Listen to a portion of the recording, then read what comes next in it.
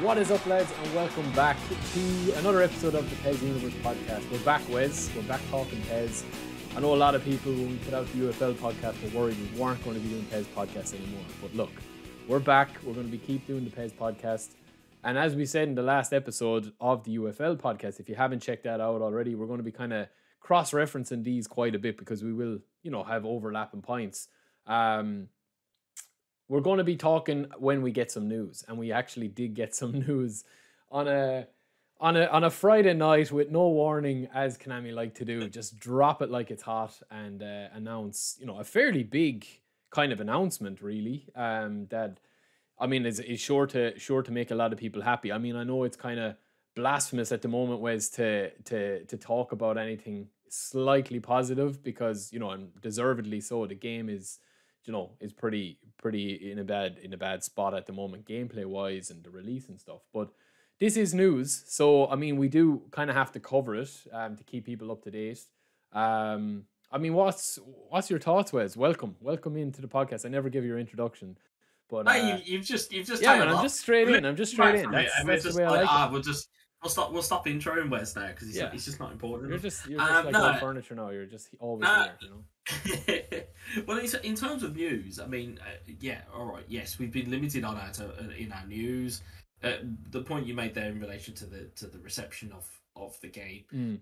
it's relatively we've you know it's been you know it's been absolutely smashed to death that Mm. point. I mean, you know, in terms of actual news, I think I even said it pre-podcast. Like, it's actually quite nice to actually have something that's yeah some team the would pipe, just talk think- about like yeah, because I think the last the last real kind of big-ish, I would say, announcement was when they said they were partnering up with the, the kind of the US Federation, and mm, its players to use the likenesses and and things of like that. So again, people were then immediately going, well, does that mean that we're now getting full MLS? It's like no, we're going to get kind of essentially fake league MLS, Yeah, which yeah. again is is great news if you are uh, an editor. It's great news if Mhm. you are a fan of the MLS. Um, and, It's like the FIFA know, Pro license basically for the Yeah. MLS, and then Yeah. full license partnership exclusive for the MX, like the Mexican league. So Yeah, and the fact that they've bolted on, or at least they've obviously made a partnership with Liga MX. Mm. So the, the reason why I say it as a bolt on is that it's a natural kind of progression. yeah, As in, you've got the MLS, you've now got Liga MX. That's quite a solid Mm. base in terms of uh, in terms of eFootball's market that they're probably going to go to. I was asked the question um, in, in a live stream I was doing in relation to where I felt that eFootball's kind of major markets are going to be, and I think it's in two places. I don't think it's mainland Europe. I think that the two big places. You've got the Far East, your likes of you, obviously Japan is where obviously Konami are based. You've got Mhm. you know China, Thailand, Malaysia, though that region, um, and then the other big one is the Americas. You know, uh, you look at you know the US, you look at Canada, you look at South America more, more in particular, where the Mm. game is huge. yeah, You know, your Brazil, Argentina, obviously Mexico, uh, Chile, all of that type of region. Absolutely love massive, the yeah. pants off, Especially of, on mobile off as well. Like it's, it's- massive yeah. over there.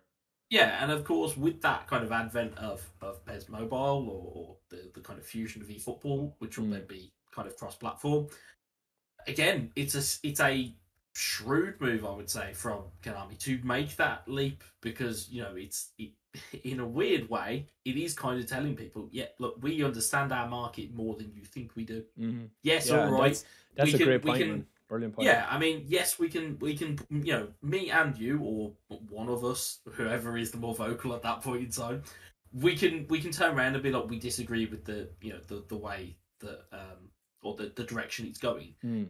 But for the for the direction they're going, they are honing in on things that are going to get people excited.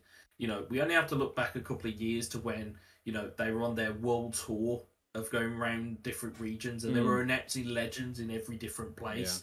And the buzz that Batistuta got, and the buzz that Salas and Zamorano got, and the buzz that Adriano got, and Mm. all of these different little kind of tidbits. Yes, we might not necessarily know the extent of how these partnerships are going to work, but the fact they're at least going in that direction, Mm. it's a smart play because if you are, like you said, if you're leaning into mobile or if you're leaning into even into console, you can at least turn around in the Americas and go, hey, guess what, guys? We know you've got other options are available, but actually, we've got, you know, the basis of an MLS, we've got the basis of a Liga MX. You know, who knows? They might go and get the is it the Brazilian? Oh, I'm going to butcher the uh, the pronunciation, but the Brazilian league, the Brasilia Real. Yeah, I want to go with. it, I was I was close. I'm not going to attempt it anyway, so that's good enough for me. But then you've got you know you've got the Argentinian league and Yeah. things like that. Are they going to go down the route and try and get all of those individually licensed? Because yeah, again, again, yeah. you I know, mean, again- like, again, I, I it's think- a great point, like that you made there, because I think sometimes, and it's something that we've even, I don't know, we don't really talk about it too much, but you hit the nail on the head there. That like, there's two ways of looking at this. Is that like you've got the development team, which are in control of the game and developing the game and building the gameplay features, and you know when information goes out and what they show and all that sort of stuff is controlled by I don't know, like whatever like version of the game they have or how updated the game is at the moment or whatever like that. And then you've got like the marketing team or the licensing team who are like working on these things and you know, they're not they're not the same like teams. Like they're basically different teams working on different things. So like I saw tweets go up today and like rightfully so in a way that people were like, "Oh, what does this matter? You know, you can't even play e-football against a friend online and Yeah, all this." And it's like, well, that's that's kind of a separate issue. You know, the the issue at the moment is like the gameplay. If you download eFootball at the moment, like gameplay wise and actually playing it is it's in an undefendable state. Like even you know the biggest supporters of the series, like such as myself, would say like that it's severely lacking from a gameplay point of view. But Mm. something like this is a huge step in the right direction, I think, for when they actually yeah. do get the gameplay to the point which they will. There'll Yeah, be those a- listening tonight that don't think that might ever happen, and there'll be those thinking that yeah, it will that- happen. You know, so yeah. And, and we've said this before that the, that that point A is a valid point, but B it's still yet to be proven. Yes, we can all sit there and go, well, historically this hasn't happened. mm, Until it actually happens, it Yeah. then you, you know you're only going off of your past experiences. I know I've echoed that point many a time on the Mm. podcast. Is you know we are reinforced by what has happened prior. Um, I think you know, for for my analogy, it's like having to go at the guy that makes your McFlurries because your Big Mac isn't isn't Mm. done properly. Like Yeah. it's like, what, well, what what does the guy who makes the McFlurries have to do with the the you know? So from a from a marketing and partnership perspective, yes, Konami and eFootball are doing a very good job from that perspective because uh, you know we tend to forget that they only have a finite amount of licenses that they can Mm. play within. As we know, competition Yeah, go of on course. exclusivity, kind of essentially ring fence it with how much money they put into those Yeah. licenses, and then as a result, you've kind of left to. Well, we'll just kind of see what we can get a hold of. Mm. Now, obviously, there's a little bit of the kind of the UFL side of things where people might be wondering, well, does that mean that UFL are now going to start to pinch licenses, or are leagues and teams going to probably look at stuff and go, well, actually, we don't want to be exclusive because Yeah. when you think about it, rather than making one pot of money, you could go and make three or four different pots of money. So for the likes of say Celtic, Rangers, um, uh, kind of West Ham, or whoever, whoever the case may be of any of those teams, or any new teams that could be coming on, instead of them being exclusive partners, they're going, well, hey, actually, we've licensed ourselves out to be in this game. We can license ourselves out to be in three or four.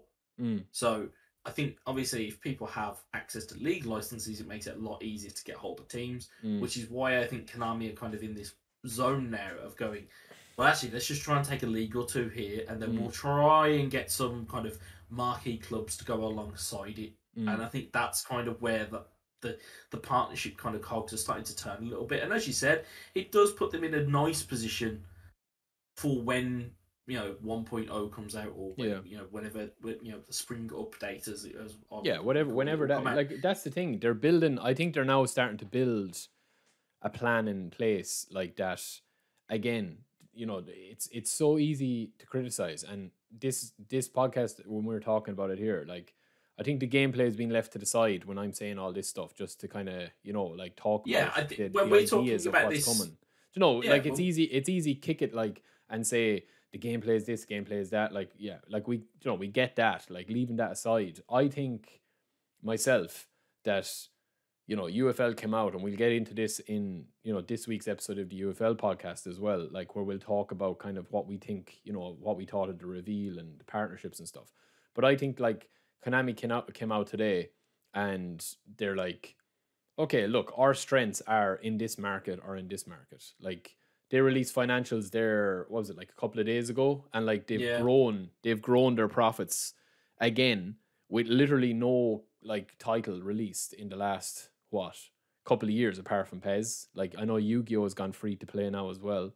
They've started Um, releasing NFTs as well, which I yeah, know it, well, it's not that's a, a, whole zone, different podcast. Yeah, it's it's not really a zone that I know very well. yeah, I, I'm it's not a massive, massive Yeah. uh, expert on it either. But but that's the thing, man. I mean, like they're going into they're they're the, the the markets that they're doing well in, like, and the markets that they have the most growth in, like they are actually nailing down like proper licenses here, where it's like, well, okay, like if you want, if you're a fan of the Mexican league, and it mightn't be of interest to me or you personally, not saying it isn't, but it may not be to us European based guys. But the South American guys would be like, this is actually massive. Like, this is a game Yeah. changer for me to give PES or to give eFootball another chance that it was in my rearview mirror. And now it's like, oh, I want to play with my favorite, you know, club from Mexico or Yeah, all of a MLS sudden with you all want to the play players with and- Tigres, or you want to Yeah. play with Unam, or whoever the case may be, or you know, or Tijuana, or whoever, whoever you know it is that's there. showing off your football But- knowledge now just to see. Ah, See it that, comes, like, it comes, it comes, it comes, it comes and goes. It comes and goes.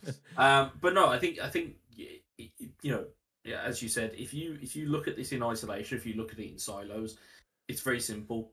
You- can leave the gameplay one off to the side because that that is has been the way it's been for some time now. It's not going to change. No yeah, how until they update you- the gameplay, we No, can't like we can't yeah, talk about No matter how I many mean- times that you slam dunk it, it's not going to change the fact that it's it's the way that it is Mm. for right now.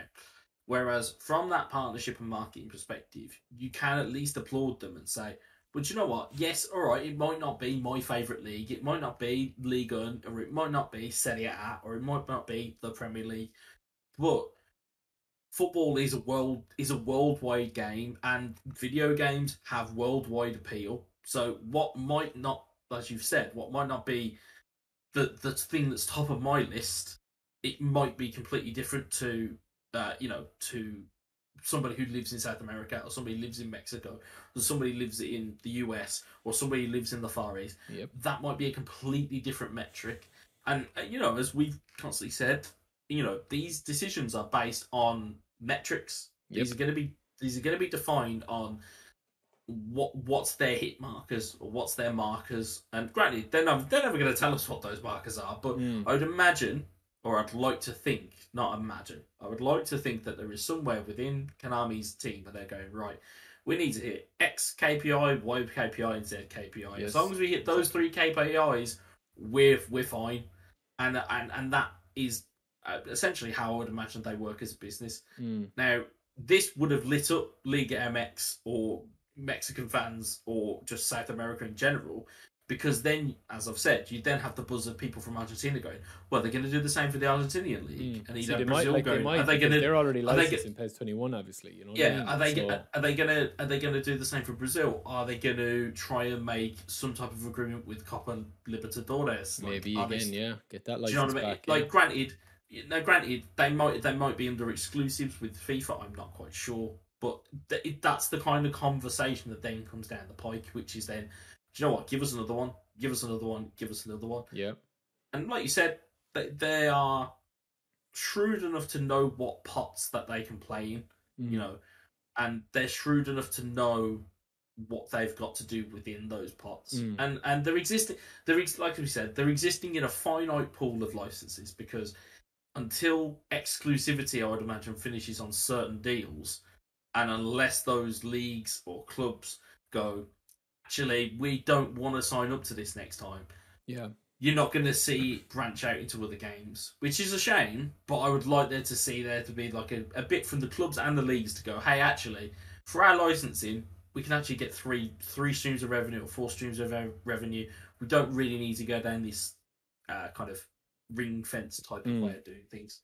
yeah. But man, the thing about it is right as well, and like, I'm I'm actually I'm actually glad with the news. Again, leaving the current state of the game like to the side, right? If this was just a, you know a, a normal year that PES 2022 had released back in September and we were just playing, you know, a season update of PES 22 where we didn't really have much gameplay to, to talk about and we were all waiting for the Unreal Engine. Like this would be a huge announcement and I think it it's after, you know, like I think myself, right? If Konami if Konami want to take on this challenge, like they definitely can do it because like people go on Twitter and they think, you know, oh, there's you know, there's no tweets, there's no marketing, there's nothing being put out. Mm. But in the back in the back of it, right, Konami like are up in their profits this year. They've had probably the worst launch ever of one of their flagship titles in PES, where it's literally never been at a lower point in the community in terms of people's perception of it and where they where they see it going. It's at its lowest point since probably PES 2008 and they haven't released, you know, they're sitting on a treasure chest of IP in Metal Gear Solid, Silent Hill, Castlevania, and they're still up in profits, like, you know what I mean? So Mm. You can just imagine that if they want to take on this battle and say, you know, okay, look, we see you, UFL, we see what you're trying to do. Listen, this is our domain now. Like, we're going to take you on in this.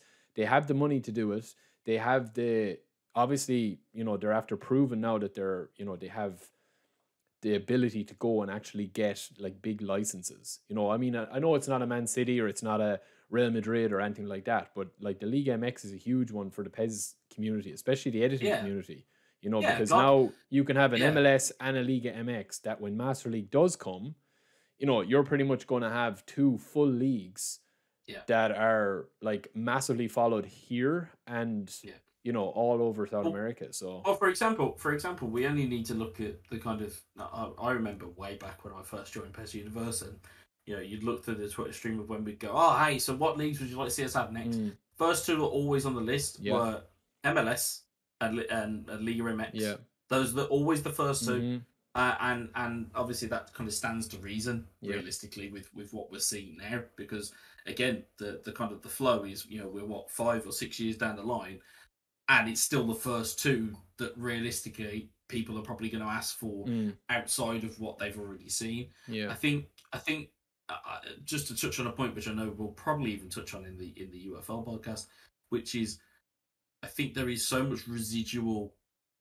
i don't want to say the word hatred because i think that's too strong but there's a bitterness mm, that's probably the better way to look at it yeah. I There's a- there's a But people residual have been let down, man. I mean, there's no, there- there's, no doubt about that. Like, yeah, you know? there's a residual bitterness to it. So the word, the anything, any news that comes out for, you know, for certain sections of of the community or game base at large, they're just gonna go, don't care, Mm. didn't ask, ratio, Yeah. or whatever the kids Yeah. say, L, like whatever, you know what I mean? Like that, or or they'll or they'll they'll fall into a category of going, well, I'm not really bothered because I'm not gonna play it, or you'll have the the the kind of the the audience that we are kind of speaking to realistically right now, which is the people who are genuinely excited about this still Mm. and genuinely are looking forward to, or even just have of- a passing interest that they have. you Yeah. know, they're fed up, but they, they still have enough of an interest to click on a PES podcast and listen to what Yeah, like we have to talk about in terms of like, you know, like I that's I I do agree with you. Like I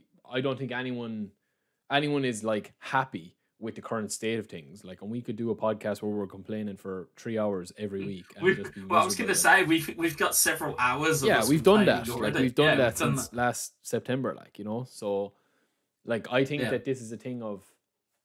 I think genuinely, like as we look towards the future now, and again, it's back to me being glass half full, which doesn't sit well with with people that are at that stage with the game, that they're just like disinterested in it. They don't think anything's ever going to be good again. You know, everything is dark. Like for me, I think what they need to do now is to just like take their time. It doesn't like if it's going to take another three months, six months, nine months. Like I think they just need to take their time now and put out something that they're proud of. Like, do you know what I mean? Put out It- something it that needs- they feel. Yeah, it, is, it is- needs to be a, a solid base because Yeah. of what they're changed to, because of the engine change, because of the generational console change. It needs to be a solid base because Mhm. if they don't get the base right, which as we've seen from their 0.9, 0.91, yeah, if they don't get the base right, it is pointless building your your game on an on an unsound foundation Mm. Because you it just it just because then it becomes you know you know we've seen we've seen it with other games in terms of how patches affect games. yeah.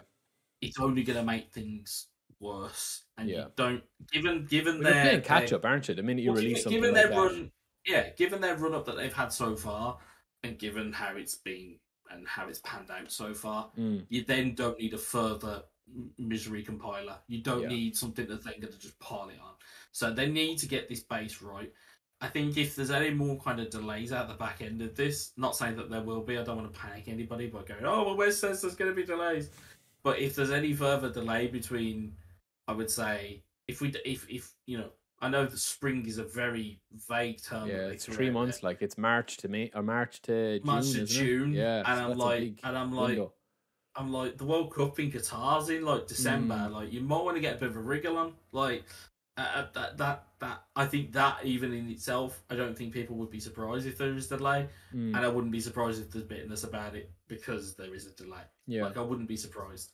No, but I mean that's like I think I I agree with you and like again it's it's understandable for people to be annoyed by that. You know what I mean? Like it's understandable. Like I miss it's mad like I miss like the kind of the structure of having like a new PES game to edit, a new PES game to talk Yeah. about, a new PES game to have content. Like even if it's not the strongest title or the strongest, you know, in the series, um, you know, we've had a lot of kind of polarizing games released in the last five years. Some have loved some games, some have hated some games. It's still a buzz when a new PES game releases, where you're like, you know, like you're collaborating as a community to do something as we do, or we're talking on Yeah. a podcast, and Yeah. like you would miss that, like you'd miss that kind of buzz and you know, like Well, just like, doing stuff and going to events and stuff, you know. Yeah, But- I was about to say I made I made the point on on my last stream where it was like the the impact. I was asked the question of do you- do you ever like miss not playing PES anymore? Yeah. and I'm like, it's not necessarily that that it's the missing of playing PES or eFootball that Mm. is what I miss. You know, it's the going to events. It's those unseen friendships I would imagine exactly. behind the scenes yeah, and I could I could rattle off a list of names of, of players who I would love to see again, but Mm. because of obviously obviously what with the pandemic obviously happening, yeah, then obviously with this happening, there hasn't been any engagement. There hasn't been a you know oh well actually there's an event going on. Do you want to go? Do you want to go and do this this and this? Do you want to go and see X Y and Z? You know you don't you know i don't get to see any of the pro players that i used to see. I don't get to see any of my broadcast colleagues that i used to see on a, on a very regular kind of basis. So it's just like for me it's just a bit like well that those are the bits that you kind of miss. And it's Mm. the, it's those hidden bits that people don't really see. Yeah. and that and that for me is the kind of the kicker it's just like yeah i miss i miss the game being in a, a playable state for me and i miss it being an enjoyment for me but then I also miss out on the enjoyment of going to events and doing all of these random things that I get that I got I got to do at the Mm. back end of playing the game. So Mm. yeah, it's true, you know. I, I think everyone's feeling everyone's feeling the pinch. I think Mm. everyone's feeling the pain of this game not being where it needs to be. But I think in terms of like we said, from a from at least from a partnership point of view, they're in the right direction Mhm. in the sense of if they go and pick up a couple more now, for example, if they went, say, for example, they went and and did something with the Bundesliga, you know, that could be Mm. something that could come down the pike where it's like, well, Don't we be getting people's hopes up, Wes. Now, come on. I'm just saying. I'm just saying. If they, if they, if you know, if they then went, oh, actually, by the way, we've we've gone and made an agreement with the German FA Mm. or or the FIFA Pro counterpart of the German FA, Mm. and now you can get a full, you know, a full Bundesliga Yeah, again, that would set some excitement about the place because again, it's then oh okay, well, we didn't actually expect them to be able to do that. Mm. If they did, great. If they don't, obviously they don't. But I think yeah. But even if they, they- had like second league, second divisions, and Yeah, stuff, man, that's a yeah, second thing divisions. as well. Yeah, second know? divisions because people love doing master leagues in loads Yeah, of different And with different tiers ways. and different, you know, promotion and relegation. It's and it's just about it's just about where Konami now move their pieces from Yeah. a, from an eFootball perspective. It's now how you move your pieces because okay, you've been radio silent. You haven't really put anything on social media outside of those polls, which I've seen various different ways of responding to them. Just now move your pieces accordingly, move them correctly. Don't don't take any missteps, and just move them slowly Mm. uh, and and hopefully we will get something that reminds us a little bit of a of a PES game, but Yeah, obviously dressed up in an e-football fashion. like it's out, like it is out there. I don't know will we ever see like.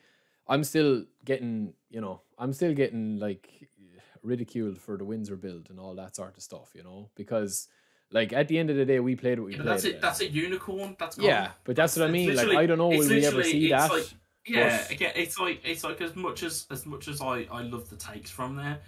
At the same time, it's like the the, the build hasn't been there. Therefore, yeah, that hasn't been publicly Therefore- Like, so. Therefore, therefore, it, it, it's it's it's um it's fugazi. It's Mm. it's not there. It's but not, I do think not- that like if you know if when whenever they do release it, I think even if people are saying like no I'm gone like I'm literally I'm never going to give him another chance like I still think people will give it a chance and play it and if it's not for them it's not for them and I think you know, so, but I think that's, that's- the nature. That's that's the It's just that's video the games, nature isn't of it? Yeah, it's the nature of video games. It's the risk you take when you make your game free to play. Mm.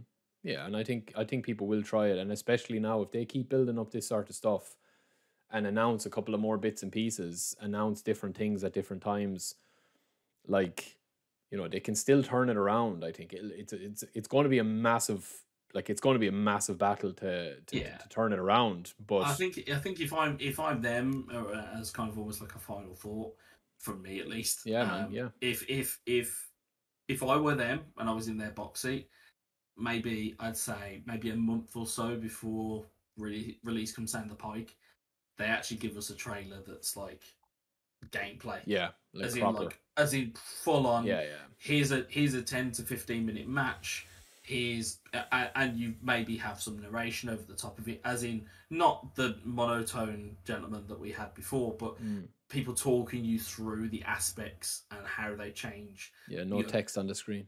No text on the screen. I don't want it to be like return of the jedi. I just want it to just be like it just it just for the gameplay itself to talk and for you to just kind of throw in bits of going well actually here's you know here's our new shoot mechanic. Here's how you Yeah, pull it off. exactly, here's this here's that here's the other and, and don't make it as kind of set piecey as as we've seen. Yeah, I agree, man. Well, look, it's a, it's kudos to him. I mean, it's finally a good bit of news. I mean, it is a bit of news. Um, that we have a bit of content to talk about, and I think it's it's it's only a positive for me. Like, it's a positive for me to. Uh, yeah no one's sitting there and going oh well they, they got the Liga MX uh, Yeah. and oh, negative. oh well that's that's terrible that's Yeah. awful oh no that's awful that's a wrong that's a wrong move it's like no it's more licenses yeah, more- well, it's just something it's different, like as well. That like at the end of the day, people are always going to have opinions on it. Like we all have our own opinions, but like it's it's something, you know. And I think I think when they do something right, like you do probably have to talk about it and say, yeah, well, like look, this was a good announcement. I mean, League MX tweeted out about it, and they were they had a few more details about the 3D scans of the players and the stadiums and obviously all the details aren't out at the moment but you know they talked about the esports scene amateur scene all that sort of stuff. So yeah man i mean look it's it's it's something. I mean it's something. Um you know i think we'll we'll kind of end it there um because we are going to do this week's episode of the the ufl podcast as well um back to back because we're we're, we're good like that but um feel like james cameron shooting avatar back to back you know but um yeah, we'll do that, and uh, we'll we'll kind of talk about a couple of more bits and pieces. But yeah, man, I think we end it there, short and sweet. We've covered everything. Um, be interested to to see what people think in the comments below on YouTube or wherever they're listening to it on any of the the the, the places. You know, I think we're on everything pretty much anywhere you can get a podcast now. We're on. Um, as Sep would say, we get you on a an eye an eye an eye pillow. Is that what he used to say before?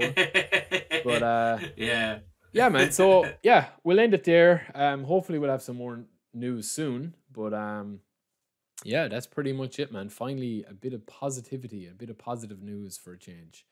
Um, so. so yeah, we will be back next week. Hope you guys enjoyed the show, and uh, yeah, keep positive, I suppose, we'll see you next time we'll see you next time. All right, peace.